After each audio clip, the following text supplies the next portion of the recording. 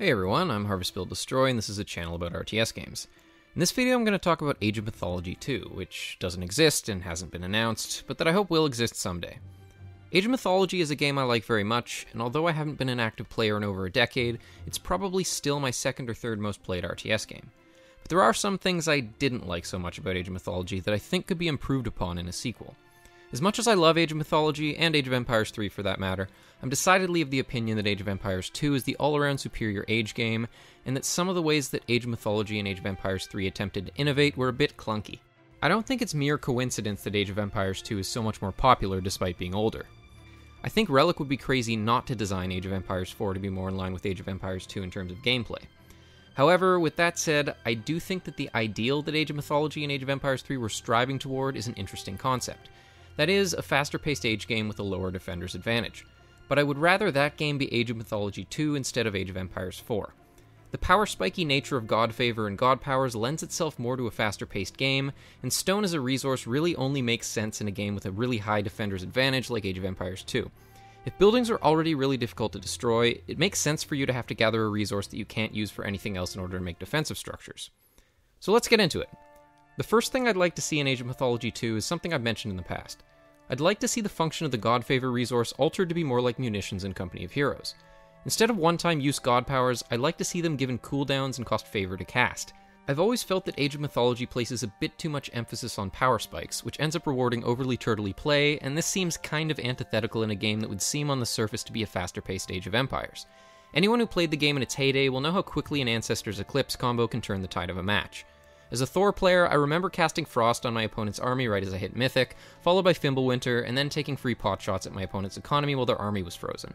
Similarly, Set could use his Vision God power to cast Tornado or Meteor anywhere on the map the instant he hit Mythic. These sorts of power spikes always seemed a bit excessive to me, and forcing players to gather a specific resource in order to cast their god powers would make them a bit more of a deliberate investment. Advancing to the next stage is something you would do for other reasons anyway, so getting a free god power and in the Titans expansion myth unit always seemed a bit over the top to me. In addition to being used for god powers and myth units, I'd also like to see favor used to upgrade individual human units with advanced weapons and armor, kind of like in Company of Heroes and Dawn of War. In Relic games, upgrading your squad's weapons often has a dramatic effect on how you use your units, and I think this dynamic could be interesting in an Age game. Since the focus of Age games is much more on managing your economy, units seldom have castable abilities and counter each other using a fairly complicated rock, paper, scissors style system. Instead of just increasing base stats, I think it would be cool if you could upgrade units for favor in order to give them additional bonuses, or in the case of armor, resistances. On a similar note, I've always liked how most of your units could switch between melee and ranged attacks in Age of Empires 3, and being able to toggle between a primary and secondary weapon could be interesting in this context. For example, let's say a hoplite has a long spear as its primary weapon and a short sword as its secondary weapon. Maybe the spear can attack from a tile away and does bonus damage to mounted units. The sword is melee ranged and doesn't have a bonus versus mounted units, but its attack rate is higher and will end up doing a bit more damage to non mounted units in the long run. I think it's worth noting that there's probably a limit to how complicated this sort of upgrade system could be. Beyond a certain point, it would be too much, and would just increase the game's learning curve to unreasonable levels. I'm not sure exactly where the line would be, but I don't think it would be a good idea for each unit to have more than a small handful of upgrade options, and I think some overlap would probably be good as well.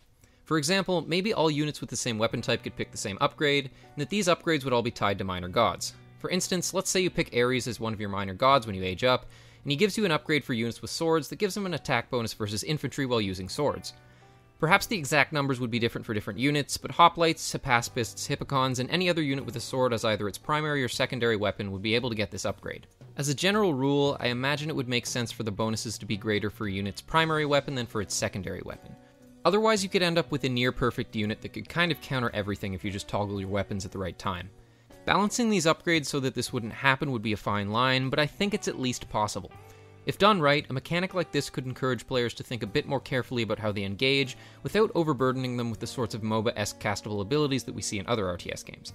Micro and Age games has always been more about positioning and making sure your units are attacking the right targets, and I think a mechanic like this would fit the style and feel of the franchise. So, in general, I think it would be interesting if Favor was more like a power spike resource, similar to munitions in Company of Heroes. In Age of Mythology as it is, Favor is used for myth units and major and minor god specific upgrades. It's kind of like Gold 2.0, since gold is used for military units, military upgrades, and advancing to the next age. Having players spend favor on god powers and weapon upgrades would give gold and favor more clearly defined roles, as well as limit the scope of the game's power spikes, or at least make them deliberate investments. Casting a god power gives you an advantage right here and now, unlike upgrades which affect all future units of a certain type you create. The same would go for divine weapons. Unlike an armory upgrade, when the unit dies, the weapon is gone. However, for all of this to work, I think the way that favor is gathered would need to be altered a bit too, or rather, made equivalent for all civilizations. In of Mythology, the Greeks are the only civilization that has to manually gather favor with villagers. I think for the system I've outlined so far to work properly, this has to be the case for every civilization. In order to turn god powers into deliberate investments, you need to be required to task villagers to gather favor instead of other resources. Sure, conceptually it's kinda cool that the Norse gain favor by fighting, but it wouldn't work so well with what I've been discussing in this video. If you want to continually cast god powers every time they're off cooldown, you need to be sacrificing something else to do that. By dedicating a larger number of villagers to gathering favor, you're going to have less food, wood, and gold to spend on units and upgrades. I don't think this would work so well if only one civilization has to sacrifice villager work time to gather favor. I also think it would make sense for the player to somehow be incentivized to spread their temples out instead of just building them all in one easy to defend location. One solution to this could be to make it so that you can't build another temple within a certain distance of another, or to reduce a temple's favor gather rate based on its proximity to the closest other temple, kind of like farms in Battle for Middle-earth 2. There could also be nodes around the map called Sacred Ground or something like that, which would be the only places you could build temples, just like you can only build town centers on settlements. But however it would work, I think it would be better if players had to defend a larger portion of the map to gather a larger amount of favor. But beyond just favor, there are a few other things about how the economy works in Age of Mythology that I don't like so much either. For one, there are no trash units. Every single human unit costs gold. This means that if you can interrupt your opponent's ability to gather gold, you can stop them from making units. I don't think it's such a good idea for players to have such a pronounced jugular vein, so to speak. Only being able to make trash units would be enough of an Achilles heel already. Something I've always liked about Age games in comparison to other RTS games is that they generally don't have mechanics where you can get caught with your pants down and lose instantly. The defender's advantage is pretty high, and you start with a scouting unit. There are generally no build order wins, and there's nothing equivalent to a proxy Dark Shrine. The lack of trash units in Age of Mythology has always felt a little bit more like these kinds of things to me, at least on a much smaller scale. I've also always thought that Egyptian buildings costing gold instead of wood was an absolutely awful mechanic. It's so important for the roles of different resources to be clear in an RTS game if there's any intention for it to be played competitively. The more you mix and match what a particular resource is used for in a game with three or more resources, the less meaningful information you get from scouting your opponent's economy. In Age of Empires 2, if you scout your opponent not long before they hit Feudal Age, and you see how many farms they have, whether or not they've taken their gold or stone, and so on, this gives you a lot of information about what they're currently capable of, because the functions of the different resources in that game are clearly defined.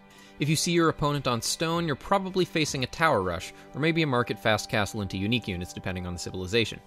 If you see two villagers on gold, you're probably facing men at arms, whereas if you see three or more, it might be archers or a fast castle. But if you're playing against the Egyptians on a land map in Age of Mythology, your opponent's economy will look pretty much the same regardless of what they're intending to do for quite a while, since wood is only used for archers and ships along with certain upgrades. Most of the time, you're just going to see your opponent gathering a bunch of food and gold, and the exact number of villagers on each won't tell you as much as in Age of Empires 2 because pretty much everything except villagers costs gold for the Egyptians. I feel similarly about economic upgrades in Age of Mythology, and Age of Empires 3 for that matter. In Age of Empires 2, all economic upgrades cost food and wood, but in Age of Mythology, upgrading your food gather rate costs wood and gold, upgrading your gold gather rate costs food and wood, and upgrading your wood gather rate costs food and gold. This might seem intuitive on the surface, but like with Egyptian buildings, to make economic upgrades cost gold is to muddy the waters of what gold as a resource is for. It's supposed to be for military units and upgrades. In theory, when you dedicate villager work time to gathering gold, you're gathering a resource that can't be used to expand your economy. This gives you a lot more to work with when you scout your opponent's economy. Like I said before, the more you mix and match what a particular resource can be used for, the less agency you have as a player to adapt to your opponent based on what you scout. If gold is used for military units, military upgrades, buildings, and economic upgrades all at the same time, scouting that your opponent is gathering a bunch of gold doesn't tell you much. So, in general, if Age of Mythology 2 is ever actually announced, I hope that the functions of the game's resources and the methods of gathering them are equivalent for all of the game's civilizations. Also, it's important for villagers to have to drop resources off at buildings, unlike the Atlanteans or all civilizations in Age of Empires 3. So much of what makes base building fun and satisfying goes out the window when you no longer have to think about the paths your villagers will take on their way back to the drop off site. The more players have to think about their base layout, the better. If you find this sort of thing tedious, I would tend to wonder why you would choose to play a 4 resource RTS game with base building over a real time tactics game in the first place. On a similar note, I've never particularly liked how you can only build town centers on settlements in Age of Mythology. The only virtue to it that I see is that you have to be able to defend a larger area of the map to increase your population limit, as you can only build 10 houses. But having to decide where to place your town centers in Age of Empires 2 is an important and interesting decision, and I think more was lost than was gained with the settlement mechanic. Having to drop resources off at buildings is important here too. Age of Empires 3 did away with settlements, but deciding where to place town centers wasn't quite as big of a deal there either, because villagers didn't have to drop resources off at buildings.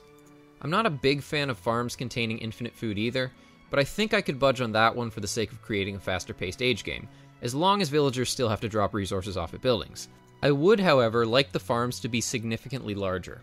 This way, the number of them that you could fit around an individual drop off site without double layering would be relatively small, and the efficiency of farms on the second layer would be considerably lower, since the villagers would have to walk farther to drop off the resources. In the super late game in Age of Empires 3, you could kind of just clump all of your mills and plantations into one easy to defend location. Since villagers didn't have to drop off resources, there was no reason not to do this, and I think this sort of thing should be discouraged. If your food economy is to be something you can set up and then forget about, which with Infinite Farms it would be, the game should at least incentivize you to spread them around the map a little more. A larger economy should be harder to defend. I would also be inclined to increase the scaling of the trade cart mechanic for similar reasons. A trade route that's only a screen or two long shouldn't net you much gold, regardless of how many trade carts you have, and if you can defend a trade route stretching from one corner of the map to another, you should be rewarded for it. I also think trade carts should cost at least some gold, like in Age of Empires 2. This might seem to contradict what I said before about muddying the waters of what resources are used for, but I think trade carts are a special case. The idea is that trade carts need to take a while to pay for themselves. If you want an infinite supply of gold, not only do you need to defend a large area of the map, you need to plan ahead. No one's going to rush for trade carts in the early game anyway, so it doesn't interfere with what you scout. There are a couple of other things not specifically tied to how the economy functions that I would also like to see changed.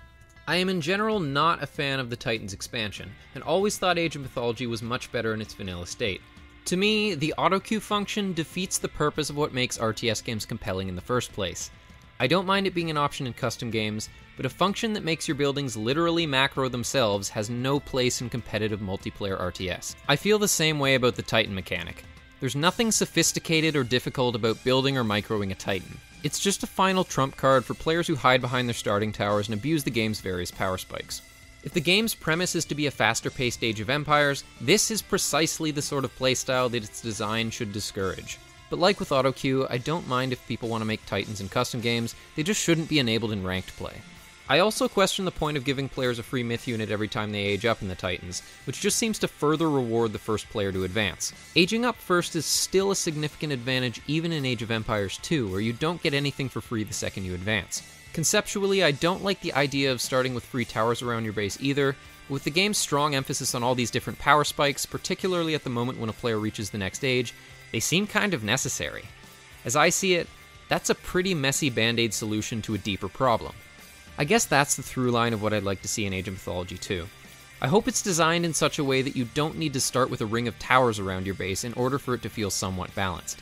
I think tweaking the roles of the different resources in the way I've discussed here would go a long way to help mitigate this issue, as well as just generally making for a robust competitive RTS game. And if you don't consider that a worthy goal, well, you're watching the wrong channel. Anyway, that's all for this video. Thanks for watching.